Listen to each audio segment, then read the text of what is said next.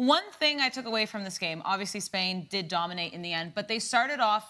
We we saw bits and pieces of Spain where they didn't look so good, and Le Normand scored an own goal. Unlucky. Yep. It is what it is. And I said, okay, but you know what? Now I want to see how they react because if you look at Spain from the last Euros, this would have shaken them. They would have done what you were talking about: the passing back and forth, the possession ball.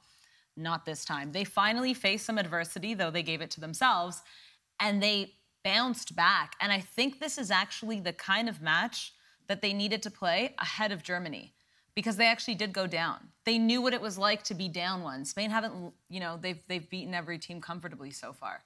But the way this team turned around, you know, it they're the best team in the Euros. They're, Yeah, they, fact, fact. It's hard to go against it. I think the thing that really impresses me about Spain is, you know, I talked about the possession, how they've moved away from that possession style. The way we think of Spanish football, we think of that, and uh, I think this was, like you said, they've been tested, but I feel like they haven't been put in an adverse situation until yesterday. And I feel like, in a way, as backwards as it sounds. Georgia going 1 0 up was probably the worst thing for Georgia because Spain were like, oh, I agree. yeah. I agree. It I was puts the literally gonna flame under the them. now. Yeah. yeah, and It puts from flame then, under them. As soon as then, as soon as Georgia went ahead, you could just tell Spain were. It was something kicked into gear, something changed. There was like a switch Yeah. in the mechanism, and Yeah. yeah. they were really impressive and put Georgia to the sword. And again, by committee as well. You know, we saw who else? Rodri stepping up for Spain. My Spain. man. You know, the classic Rodri just on the outside, keep it on the ground, just smack it into the corner. That was great. Fabian Ruiz got on the board as well. He had a fantastic game after, you know, the first 30 minutes, I'd say. But guys, I really need to talk about one player because I think he has been the player of the tournament, and no one's changing my mind about this. Nico Williams. Mm. And this is the thing. We were talking. I was talking to producer Ben because he was saying, "No, for me, it's Fabian Ruiz." And I said, "Listen, Fabian has been brilliant. He has been." And he was naming, you know, all the stats. Oh, you know, he had 100 percent. It's not about the stats. Look at the football Well, that exactly. Nico is playing. He's so free. He's hungry. He's going up against anyone. He's fearless, like Klinton always says. Yeah. I love the determination he has. I love him and Lamine, you know, playing on the wings together. Them to like, it's just There's- it there's something- me so happy. There's there's something about those two players. I think um, Spain are very lucky to have them for. Like, um, these are two young lads. Like these are kids. You, you know, they they are, they are not even up to lads yet. These are kids on the pitch in that kind of way. You know, you you know. I feel if I was if I was um uh, the people they were playing against yesterday, um, I I would sue Spain to court. Yeah, because I feel that's that's that's an that's an insult to us. Like to bring kids to come violate us on the pitch like that. And do you even know what even do you know this is the point where it even got me more upset. After the game, they were doing their kid stuff. Um, Oh, on how to share what they like. I'm like, wait, wait, wait, They wait. were now, teasing now, like you guys are taking the piss. Like you don't win your opponent with a four nil. Sorry, okay, it was a 4 1. Sorry. Yeah, I mean, it was a 4 nil because it was an own. It was this, Yeah, I drew- this caught the five goals. Right? but it's the fact that you finish all of that, you, you, you, come off the pitch, and you guys are doing that kind of game. As you know, this is, you could clearly tell that they are kids. And these kids, why is so crazy is the fact that they don't play as kids. They go into the pitch, forget they are kids, and they start playing like people who have been playing football for the last 15 years of their life or the last 20 years of their life. Like, it's crazy because I was seeing what was going on between the two wings. Nico Williams there, and you have um, uh, Yamal. Thank you, Nice Jesus. one. Thank you, Jesus. you don't understand how many years. Don't leave me hanging, I've man. been trying to Klinton, make don't sure. leave me hanging.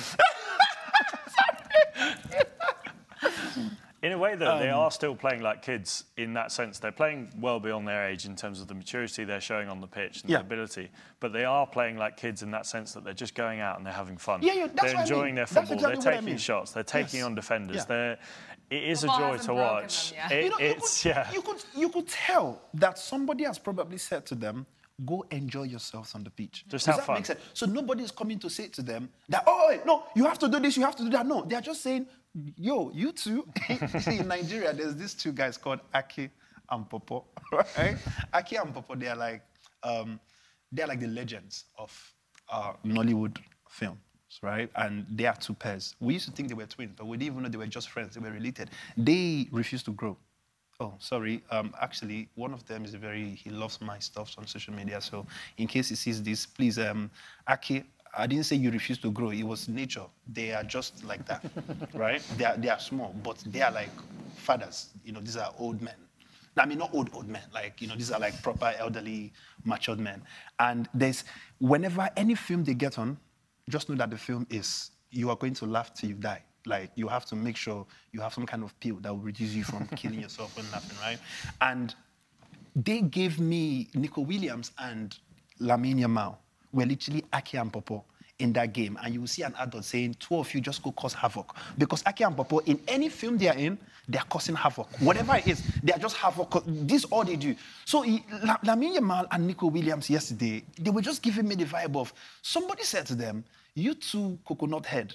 yeah, yeah, yeah. I wish you guys were Nigerians. You already understand all these little words. You say, you two coconut head, just go there and go just cause mayhem. And this is what these two boys have mm-hmm, done. Mm-hmm. The, the, the, heat is coming from the right from, and then the heat is also coming. So you, even as a defender, defending against these two, and then you now have one of the most sophisticated midfield. I'm talking about Rodri.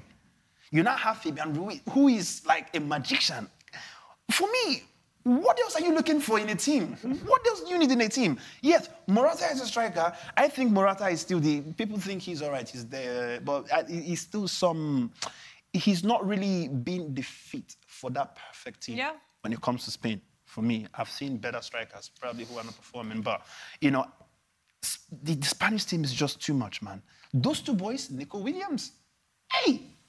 I like that that they haven't lost that innocence in a way. They're I hate it when quite often young players get criticised for maybe adding that flair element to their game. You know, trying to take on players with the keepy uppies and the. Flair. It's not like um, I don't know what the word. I'm like Garnacho, like very cocky. But like, they are having fun with but it. But in a yeah. way, I, I, like it. Obviously, there comes a point when if you're doing it and it doesn't work, yes, stop, start playing proper football. But I like the fact that they have the confidence, the fearlessness to, you know, do a few step overs. This is what, you know, growing up, you see these videos of, of Ronaldo doing the step overs, yeah. Ronaldinho doing the keepy yeah. uppies or whatever. Yeah. It, it, just it, it, brings me back that sort of romantic feeling about football and that sort of magical element where you, you just enjoy watching them and you could sit there for hours and just watch these lads play. Yeah. They're, they're fantastic. I, I, think that's the thing with Spain is they've been the most enjoyable football to watch as well. No, like I mean, they're just brilliant and like Alex said, like you feel it's like a heartwarming feeling inside.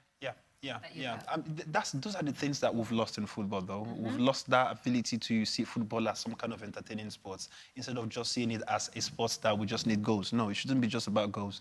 It should be more of how you know, be the fans, people who are sitting at home, they want to, like you said, during the days of Ronaldinho, there were things you would see him do on, on the pitch. And the moment you hear that, he's, I mean, why, what, why do you think a lot of us still want to go watch Lionel Messi play, even after all these years he's entertained us? It's because we just know that somehow he's still probably going to do one of these things that will make you feel like this guy is a goat. Like, this guy is a God level player.